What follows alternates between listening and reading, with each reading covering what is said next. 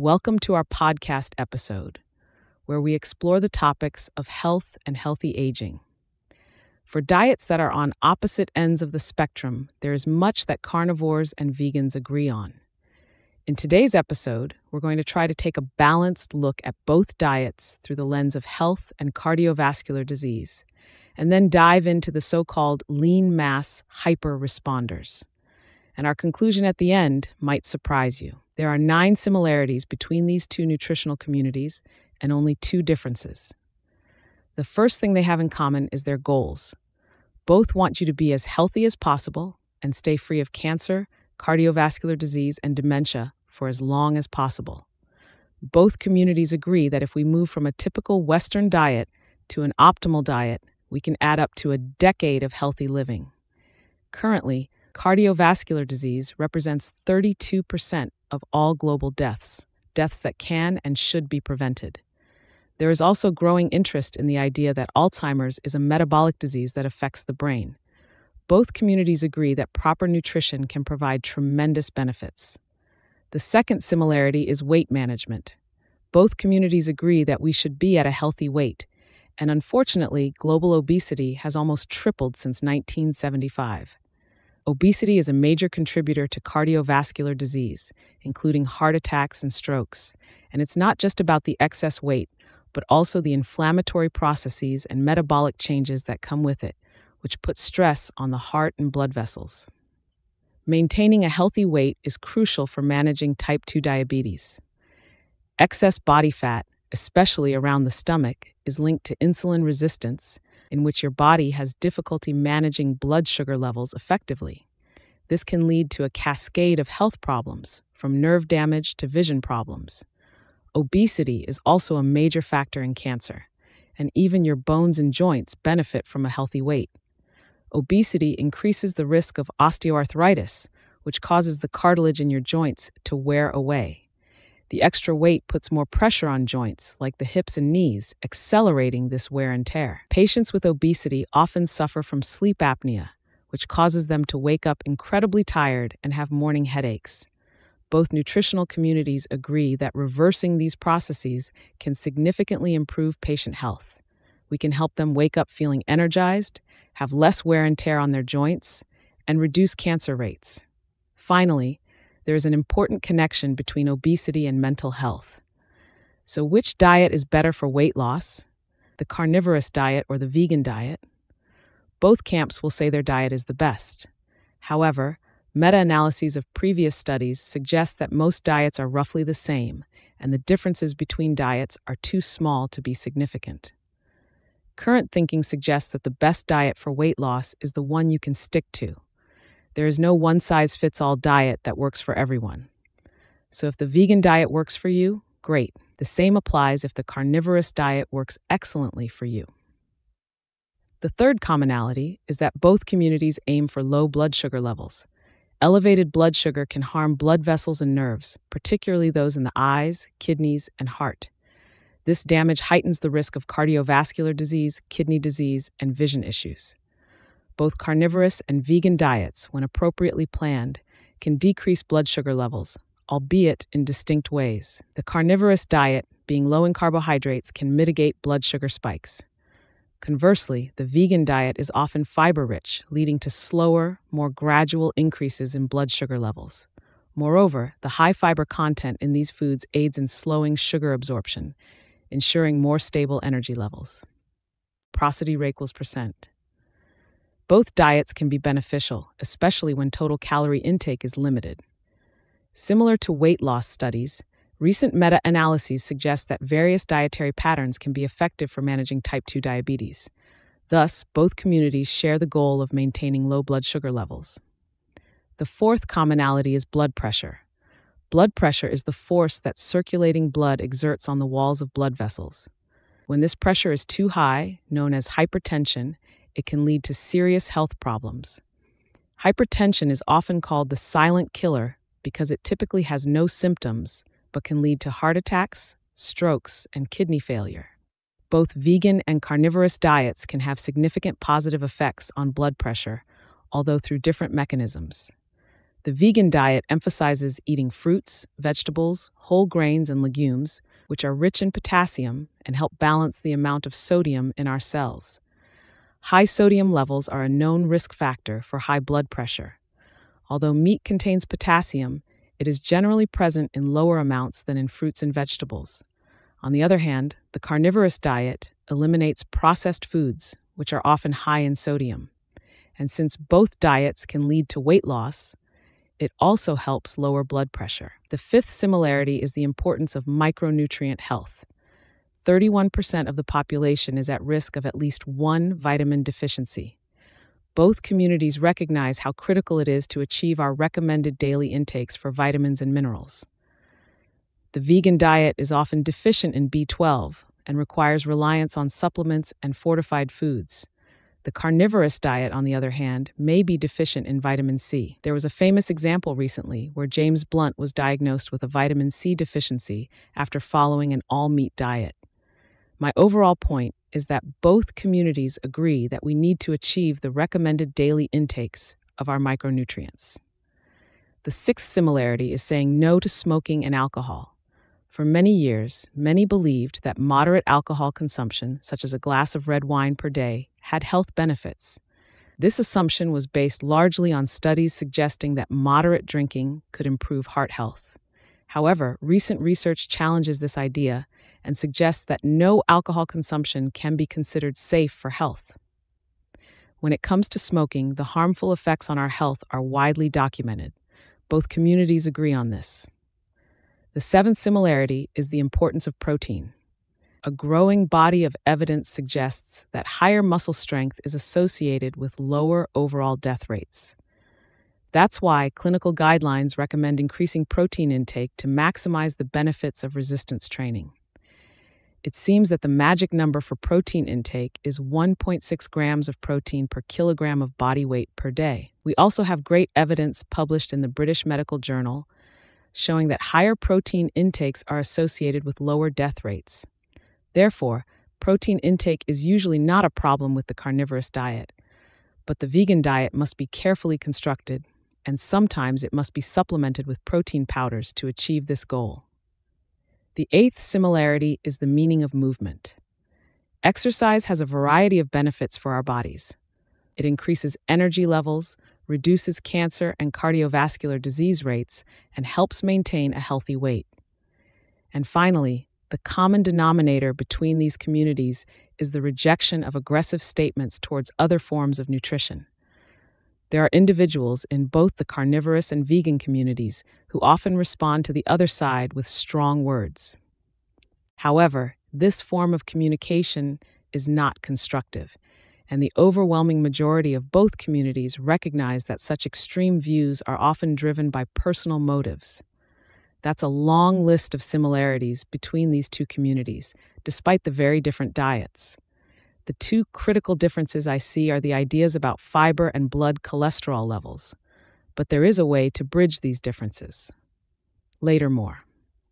When it comes to fiber, vegans often rely on graphs like these from large meta analyses that show higher fiber intakes are associated with lower overall death rates. This particular study was funded by the Health Research Council of New Zealand. The carnivorous community, on the other hand, would often dismiss this research by saying that it simply shows healthy user bias and that correlation is not the same causation is. When it comes to blood cholesterol levels, the current medical belief is that the higher a person's LDL cholesterol and ApoB levels, the higher their lifetime risk of cardiovascular disease.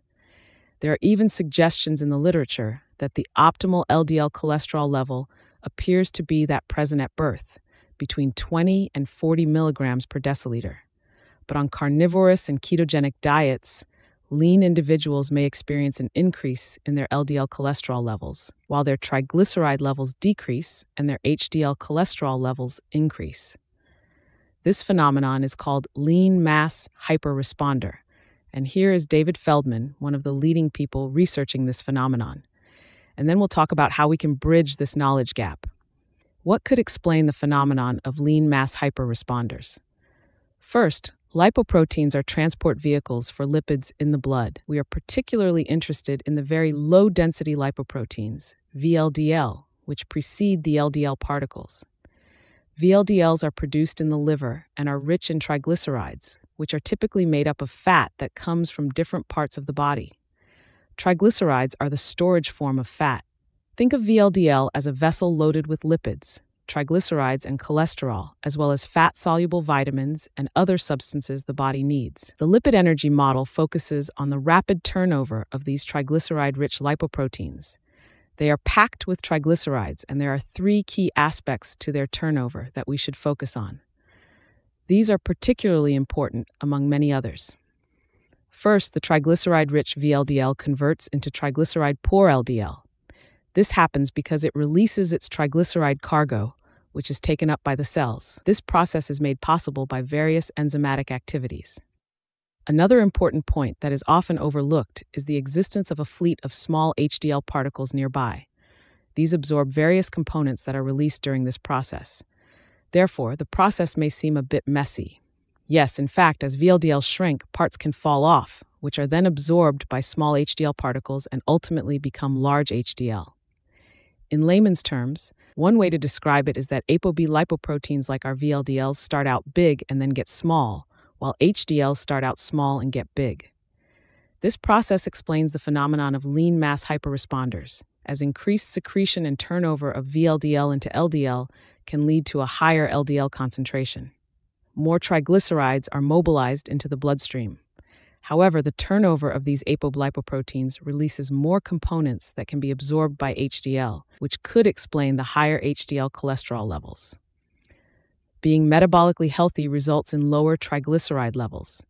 This may explain the lower triglycerides and why this triad phenomenon is so widespread across all different populations, ages, and ethnicities. Why do lean and metabolically healthy people often show the lean mass hyperresponder profile? To understand this, it's helpful to look at fat cell size and genetic factors. Imagine two highways Highway A, which is free of traffic, and Highway B, which is full of trucks and traffic jams. If studies are only conducted on Highway B, where trucks often cause accidents, one might mistakenly assume that trucks are generally dangerous but that ignores the conditions on Highway A, where trucks can drive safely. This analogy illustrates the importance of considering context when it comes to scientific knowledge. Large fat cells and genetic predispositions can be like a crowded highway leading to metabolic disorders, while smaller, healthier fat cells and favorable genetic makeup can mean smoother traffic and therefore a lower risk of metabolic diseases. With this understanding, we approach the main exit to discover the mechanisms behind the lean mass hyperresponder profile. The fat cell size study examines the connections between the size of adipocytes, our fat cells, and metabolic dysregulation. When fat cells grow excessively, they lose their functionality, which can lead to their dysfunction or even death. This results in an increased presence of macrophages, immune cells that take care of the dead cells. These processes stand associated with what is called dysmetabolism or lipid dysmetabolism and show an association with cardiovascular disease. In particular, visceral fat cells, which accumulate primarily around the midsection of the body, tend to be larger and correlate with higher levels of fasting insulin, HOMA-IR, and fasting blood glucose. They are also associated with lower HDL cholesterol levels and higher triglycerides, as well as an increase in LDL cholesterol. HOMA-IR stands for Homeostasis Model Assessment of Insulin Resistance. It means homeostatic model for the assessment of insulin resistance. It is an index used to evaluate insulin resistance in the body. Insulin resistance is a condition in which cells no longer respond appropriately to insulin, which can lead to elevated blood sugar levels. HOMA-IR is often used in medical research and clinical practice to assess insulin resistance in people with diabetes or metabolic syndrome. It is based on fasting blood samples of glucose and insulin and calculates insulin resistance using a mathematical model. A higher HOMA-IR value indicates greater insulin resistance, while lower values indicate better insulin sensitivity. In the context of the lipid energy model, Decreasing acceptance of triglyceride delivery by the cell surface could result in less conversion of triglyceride rich VLDL to triglyceride poor LDL. This would also mean that small HDL particles are less likely to convert to large HDL particles. A high presence of triglyceride rich VLDL and small HDL, associated with lower HDL cholesterol levels, could be metaphorically viewed as a traffic jam, offering important insights into the mechanisms behind metabolic health conditions. Doctors and researchers recognize the importance of these associations because they highlight how changes in lipid transport can lead to metabolic imbalances. Metabolic health is frequently indicated by blood markers, such as low levels of triglycerides and glucose. Conversely, individuals facing metabolic issues may exhibit increased levels. However, these figures are symptomatic, not necessarily the root cause of the issues. The underlying mechanisms that result in these metabolic bottlenecks are intricate and involve factors such as lipoprotein transport and genetic predispositions. Looking at ApoB is crucial because it is a marker for lipoproteins that transport cholesterol and triglycerides. Porosity rate. Failure of these transport mechanisms can have profound effects on health and is linked to diseases such as atherogenic dyslipidemia, which has been known for decades and is typically associated with obesity, metabolic syndrome, insulin resistance, and type 2 diabetes. This dyslipidemia is characterized by a combination of low HDL cholesterol and high triglycerides, which is often accompanied by an increase in small, dense LDL particles. These findings are important for everyone, from interested laypeople to specialized lipidologists. A study is currently being conducted to explore the phenomenon of lean mass hyperresponders to find out whether these individuals are at a higher risk of cardiovascular disease.